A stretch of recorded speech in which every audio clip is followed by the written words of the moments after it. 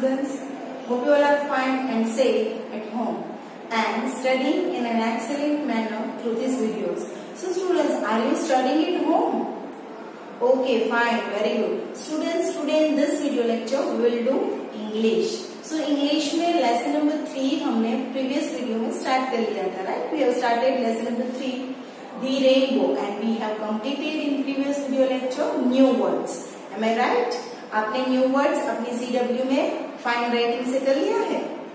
Okay so आज हम करेंगे glossary so first of all take out your English C W आपको कौन सी सी डब्ल्यू निकालनी है? इंग्लिश की फोर लाइन वाली. ओके और उसमें हम कंटिन्यू करेंगे. चलिए फॉर एग्ज़ाम्पल अगर आपने यहाँ पे न्यू वर्ड्स किया है, जहाँ पे भी आपने न्यू वर्ड्स किया है, उसके न्यू वाले पेज पे मतलब नेक्स्ट पेज पे आपको आज की डेट लिखनी है यहाँ पे. आपको पता है ना कॉर्नर पे आपको आज की डेट लिखनी है चलिए, आप यहाँ पे पेंसिल से आज की डेट लिखिए अपनी सी डब्ल्यू आपने न्यू वर्ड्स जहाँ पे कंप्लीट किया है, उसके नेक्स्ट वाले पेज पे। ओके सो डेट लिखी। उसके बाद अब हम यहाँ पे हेडिंग लिखेंगे। पहले स्टार्ट करेंगे। Glossary G L O double S A R Y और उसको करेंगे अंडरलाइन ग्लोसरी ओके चलो दे दी हेडिंग चलिए ग्रेट अभी नंबर वन है। Sail S A I L sail तो स्टूडेंट्स सेल का मतलब क्या होता है? सेल मतलब मूव करना। तो यहाँ पे सेल का मतलब होता है कि बोट शीप और ये सब सेल करता है। इसपे सेल करता है? वाटर है वाटर पे बोट है शीप है बड़े बड़े जहाज़ है, वो सेल करते हैं। वाटर के ऊपर सेल करते हैं राइट तो यहाँ पे सेल का मतलब होगा P O to M O move to move on W A T R water to move on water okay sail means to move on water आपको मेरे साथ वीडियो के को देख देख कर लिखना है, ठीक है? लिखा? नेक्स्ट है number two bridge B R I B G E तो स्टूडेंट्स ब्रिज मतलब वो ब्रिज है ना? तो कोई भी रिवर है या कोई भी रोड है, उसको हमें क्रॉस करना होता है वो क्रॉस करने के लिए जो स्ट्रक्चर बनाया जाता है, उसे हम कहते हैं ब्रिज है ना? हम रिवर पे नहीं चल सकते, इसीलिए उसके ऊपर ब्रिज बना हुआ होता है रिवर को क्रॉस करने के लिए।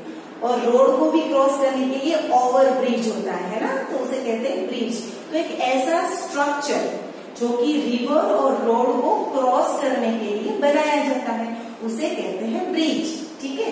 चलिए उसे लिखते कैसे है? Bridge means a structure S T R U C T U R E a structure to cross a structure to cross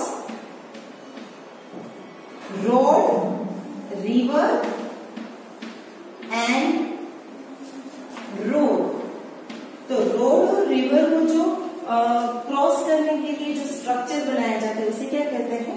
Bridge now number three number three क्या है? Heaven H E N V N heaven तो students heaven means what means अगर हम आ, ऐसा उसका translate करें तो haven मतलब स्वर्ग होता है है, है ना? तो हेवन को मतलब क्या है? तो चलिए a place a place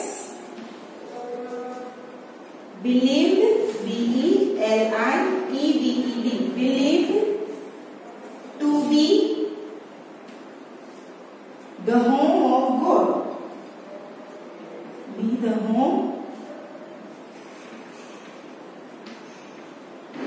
of God तो स्टूडेंट्स फिर से हम रिपीट कर लेते हैं, पूरे थ्री तीनों जो ग्लॉसरी है वो सेल मतलब टू मूव ऑन वाटर जैसे वाटर पे बोट है और शिप है वो सेल करती है। तो सेल मतलब to move on water bridge bridge means what a structure to cross river and road and heaven तो हेवन मीन्स ऐसा माना जाता है कि भगवान का घर।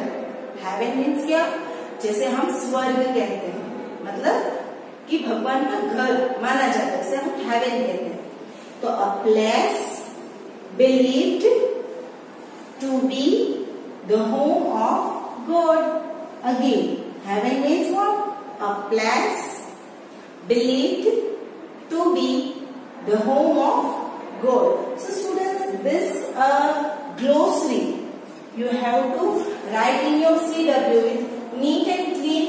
writing and also you have to do by heart okay? By again and again repeating okay? Thank you.